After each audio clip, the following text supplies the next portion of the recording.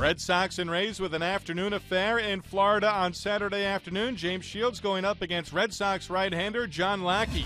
Bottom one, Rays already with two runs across against Lackey. B.J. Upton standing in with two on. He singles into left field. That scores Evan Longoria from third.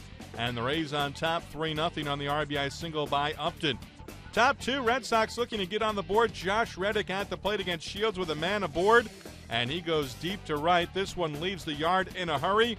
Reddick is third home run on the season. That pulls the Red Sox to within a run at 3 to 2. Top three, Red Sox threatening again against Shields. This time it's Big Poppy David Ortiz at the plate with two on.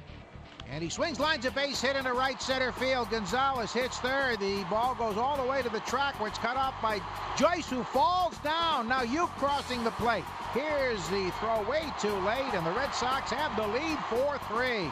Call courtesy of WEEI Radio in Boston. Next batter, J.D. Drew standing in with Big Poppy at second. Drew doubles down the right field line into the corner.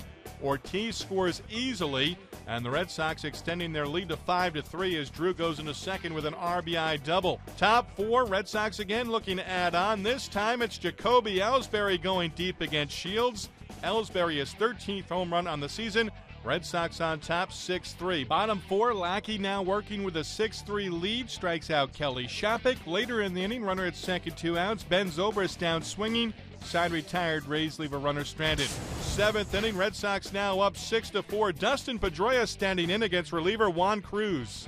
And the pitch is swung on, driven in the air to right field. Deep back goes Joyce, turns at the wall, and Pedroia's homered again. Pedroia his 13th on the season. Call courtesy of WEEI Radio in Boston. Red Sox go on and win it by a score of 9 to 5. Lackey gives up four runs, three earned over five and two thirds. He picks up the win, improving to seven and eight. Shields takes the loss for the Rays. He drops to eight and eight on the season.